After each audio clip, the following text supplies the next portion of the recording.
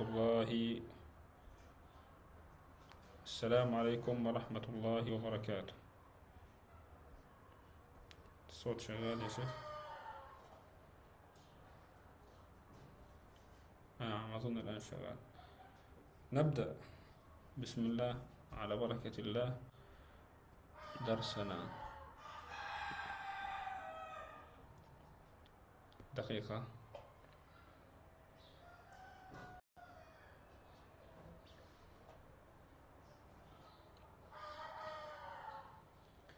نعم. السلام عليكم ورحمة الله وبركاته. ومرحبا بكم معنا في الدرس التاسع من دروس الصرف ورحمة الله وبركاته ومرحبا بكم معنا في الدرس التاسع من الد- من دروس الصرف الآن نبدأ دقيقة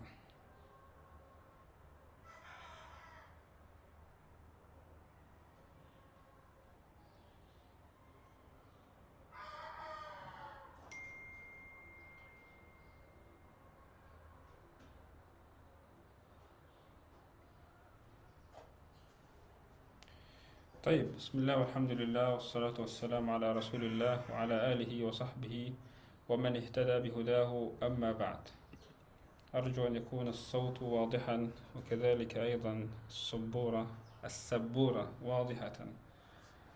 آه، طبعا أبث الدرس في هذا الوقت ولعل أحدا يقول ومن يكون موجودا في هذا الوقت؟ فنحن نبث الدرس ويسمعه من يسمعه مباشرا ثم يكون الدرس موجودا مسجلا. من من فاته الدرس يستطيع أن يستمع إليه مرة أخرى بإذن الله تعالى.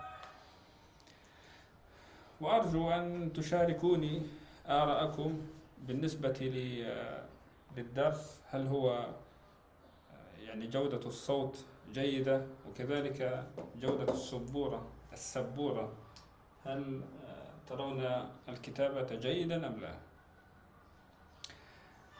طيب درسنا اليوم هو الدرس التاسع من دروس الصرف وكنا في الدرس السابق تحدثنا عن ال- نعم تحدثنا عن تقسيم الفعل إلى صحيح ومعتل. تقسيم الفعل إلى صحيح ومعتل.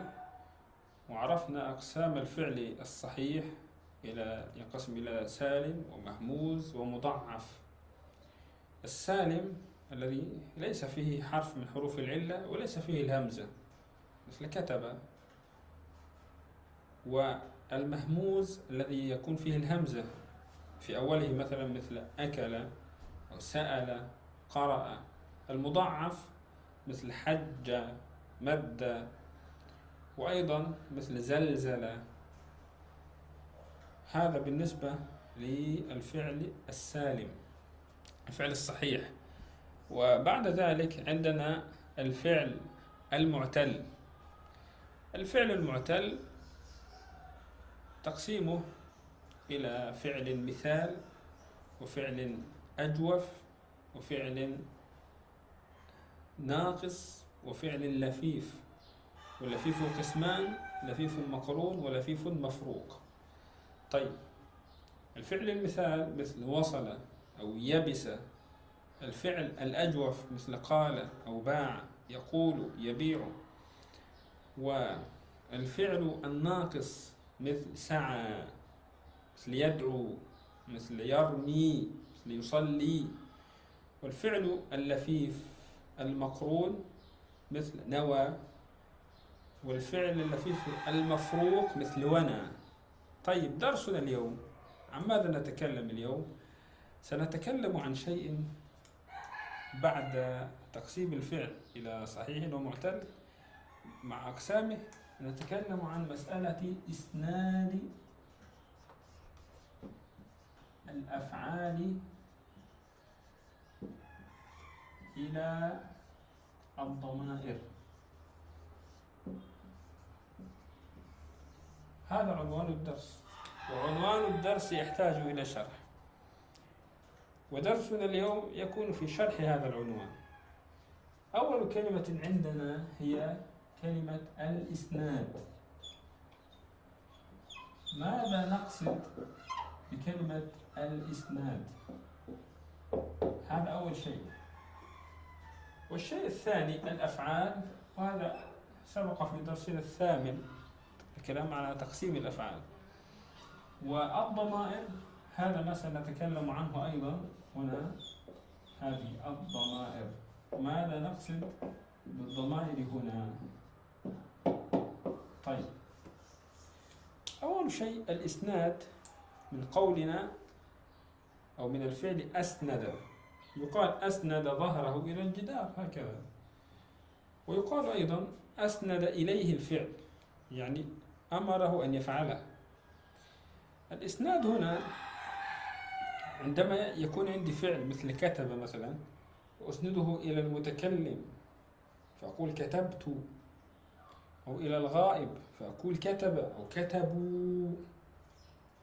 طيب فعندنا إسناد فالإسناد يكون عندي الفعل الماضي مثلا كتب.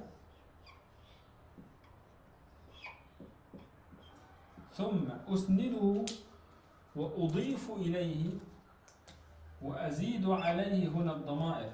كتب أزيد عليه مثلا التاء. كتبت. ماذا سيحصل؟ كتبنا. كتبت. إلى آخر الضمائر. هذا مع الماضي. ثم نأتي إلى المضارع مثلا. يكتب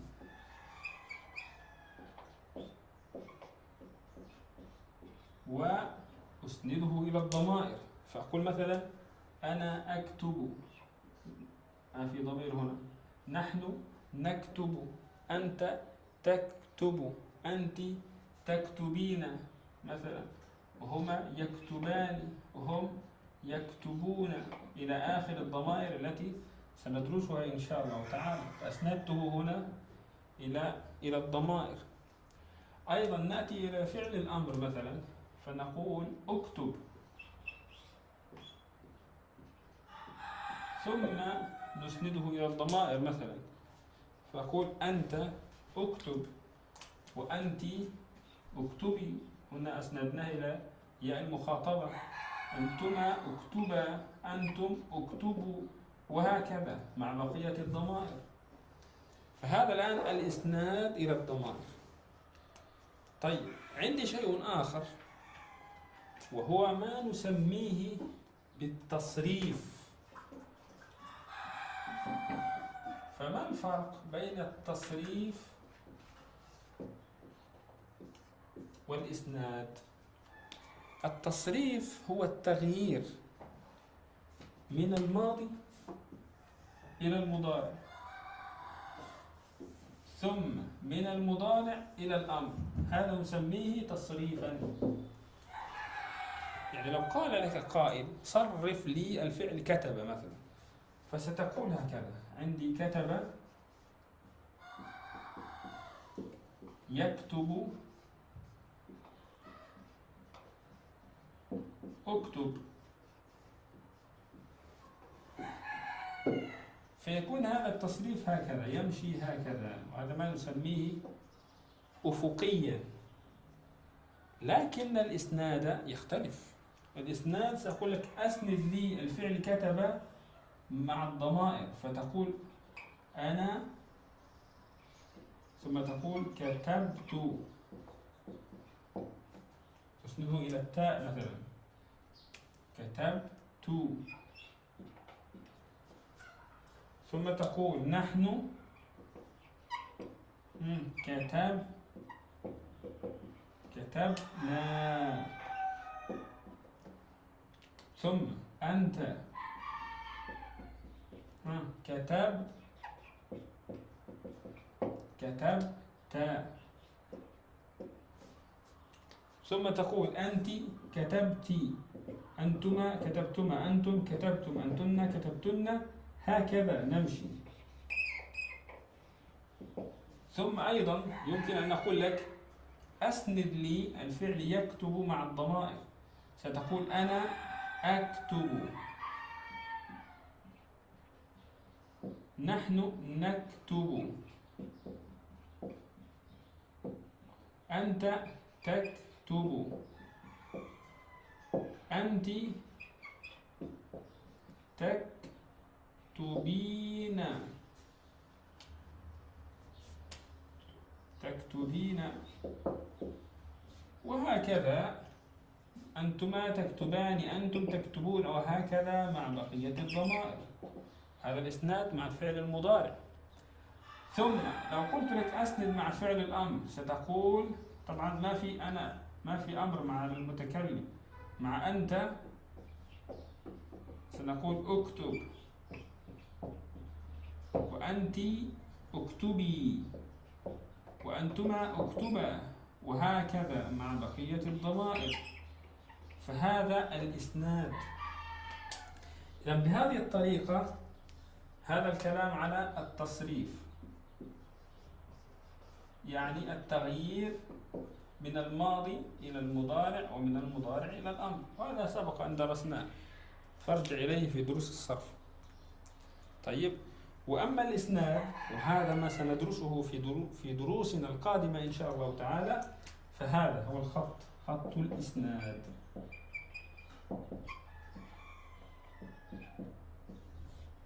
إسناد الفعل إلى الضمائر مع الماضي. إسناد الفعل إلى الضمائر مع المضارع. إسناد الفعل إلى الضمائر مع الأمر وهكذا. طيب عرفنا الآن فكرة الإسناد. سيأتي تفصيلها وكل شيء عنها في دروسنا القادمة إن شاء الله تعالى. طيب. الآن نريد أن نعرف أن هذا الفعل سنسنده إلى ضمائر مثل التاء هنا ونا هنا وهنا الياء تكتبين هذه الياء. ما الضمائر التي سنسند إليها؟ الضمائر التي سنسند إليها على قسمين. على قسمين. ما هما؟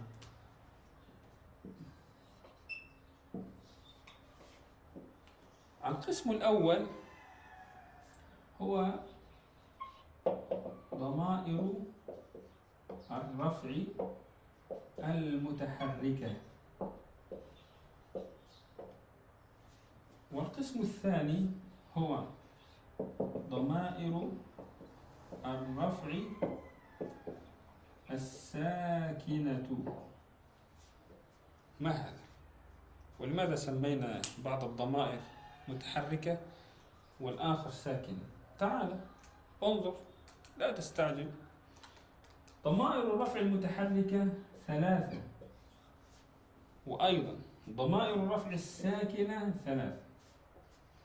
ضمائر الرفع المتحركة الثلاثة هي التاء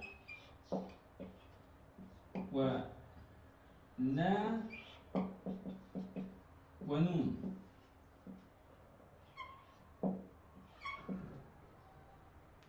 يعني نقولها التاء والنا والنون. هذه ضمائر الرفع المتحركة التاء هذه تاء الفاعل.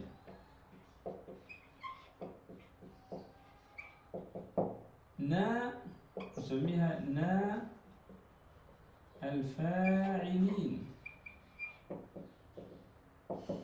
نون نون النسوة.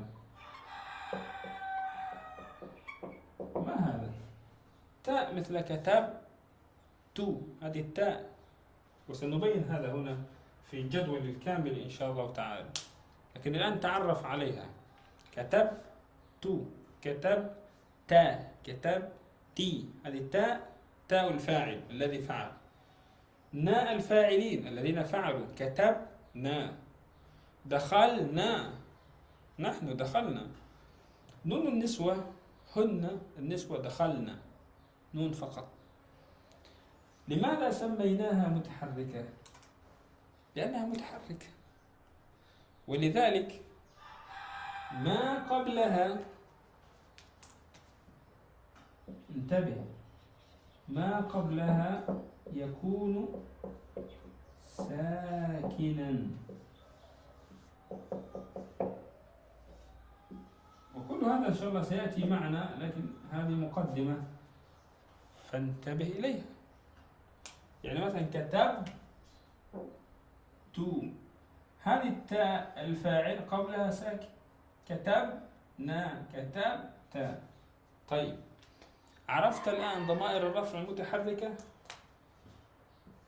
وطبعا قد تسألني عرفنا الآن لماذا هي متحركة؟ لأنها عليها حركة. كتبت هذه حركة. كتبنا هذه الناء أول حرف هنا يلاصق الفعل متحرك.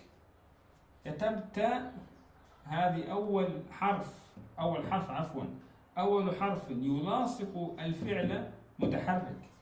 لذلك اسمها متحركة. وهي ضمائر الرفع لأنها تكون في محل رفع فاعل أو نائب فاعل. هذه التاء تكون في محل رفع إما أنها محل رفع فاعل وفي محل رفع نائب فاعل. الذي درس النحو يعرف ذلك. طيب.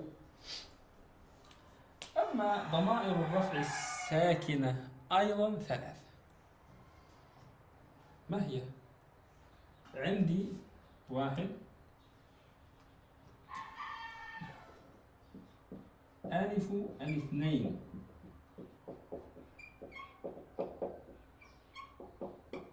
اثنان هذه واو. الجماعة. ثلاثة هذه ياء. المؤنثة المخاطبة.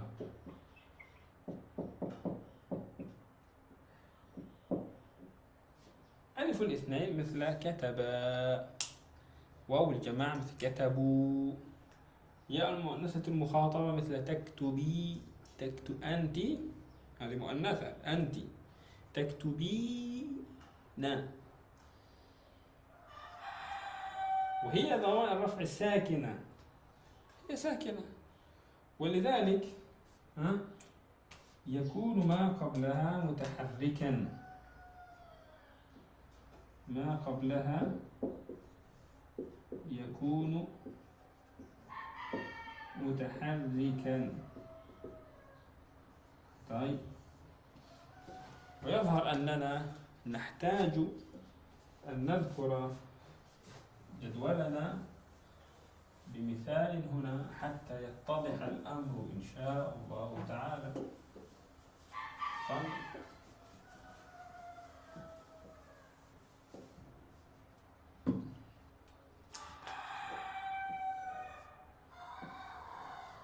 يعني مثلا هنا عندي الماضي فعل الماضي.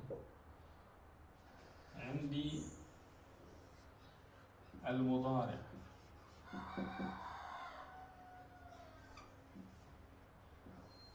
وعندي الأمر. وعندي ضمائر هنا نذكرها إن شاء الله تعالى.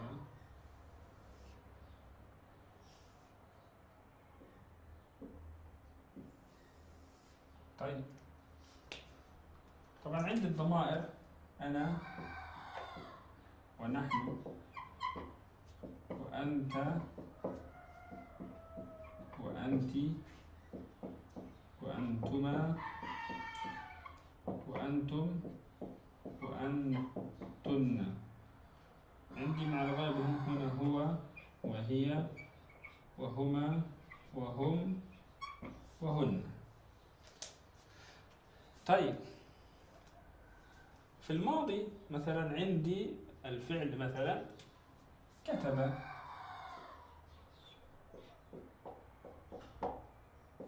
طيب كتب. هذا كأننا كتبنا الفعل كتب. أنا مع كتب سأقول أنا كتب تو تو قبلها ساكن هنا. هذه تو هذه تاء الفاعل. نحن كتبنا كتبنا هذه نا نا الفاعلين. طيب. أنت كتبت هذه تاء الفاعل. أنت كتبت تاء الفاعل. أنتما كتبتما تاء الفاعل أيضا. أنتم كتبتم هذه تاء الفاعل. أنتن كتبتن هذه أيضا تاء الفاعل. هو كتب هنا لا يوجد ضمير طيب هي كتبت لا يوجد ضمير طيب والتاء الموجودة هذه تاء التأنيث. كتبت تاء التأنيث. طيب هما كتبا هذه الألف ألف الاثنين كتبا. وهما كتبتا أيضا هذه ألف الاثنين.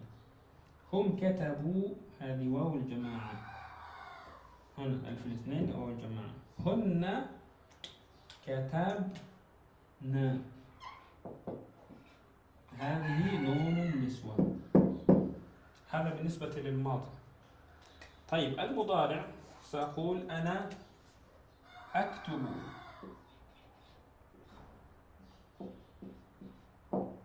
ونحن نكتب وأنت تكتب وأنت تكتبين تكتبان تكتبون. هو يكتب هي تكتب هما يكتبان وتكتبان هم يكتبون هن يكتبن. سنرى الآن. أنا أكتب هنا لا يوجد ضمير ظاهر اتصل هنا. نحن نكتب لا يوجد ضمير ظاهر اتصل. أنت تكتب لا يوجد.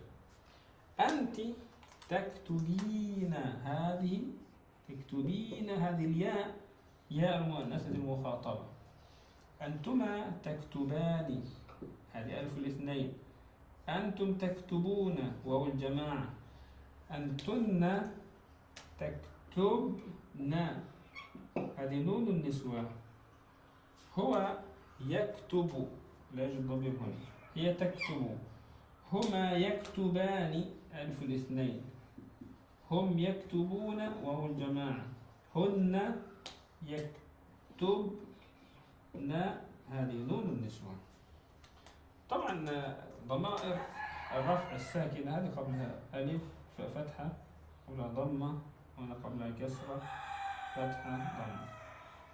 طيب هذا بالنسبة للمضارع. بقي عندنا الأمر. طبعا لا يوجد أمر هنا مع المتكلم ولا مع الغائب.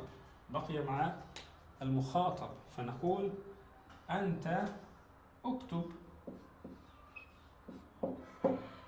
وأنت اكتبي اكتبا اكتبوا اكتبنا سنرى الضمائر الآن المتصلة أنت اكتب لا يوجد ضمير متصل هنا ظاهر. طيب أنت اكتبي. هذه ياء المخاطبة. أنتما اكتبا. هذه ألف الاثنين. أنتم اكتبوا. أو الجماعة. أنتن اكتبنا الآن ظهر لك الضمائر المتصلة الآن بالفعل التي باللون الأخضر هذه ضمائر الرفع المتحركة والتي بالأحمر هذه ضمائر الرفع الساكنة. إسناد الأفعال إلى الضمائر هكذا. هذا الإسناد هنا. سنأخذ الآن كل فعل الفعل الصحيح المهموز المضاعف. ونمشي به مع الضمائر ونرى ماذا سيحصل له. يعني مثلا الفعل مثل آه يصلي أو يدعو. فنقول مثلا نحن دعونا. هذا في الماضي نحن دعونا. نحن دعونا. نحن صلينا. نحن رضينا. ما الفرق بين رضوا ها؟ بين مثلا آه, آه نعم رضوا نحن. وأيضا مثلا عندما نقول آه يعني الآن عندك الفعل المعتل. الفعل المعتل سنرى ماذا سيحصل له هنا من تغيرات إن شاء الله تعالى. فلا تنسوا إن شاء الله أن تكونوا بالقرب حتى تدرسوا هذه الدروس. ونسأل الله تعالى أن ينفعنا بما قلنا وبما سمعنا وأن يرزقنا الله وإياكم العلم النافع والعمل الصالح. والسلام عليكم ورحمة الله وبركاته.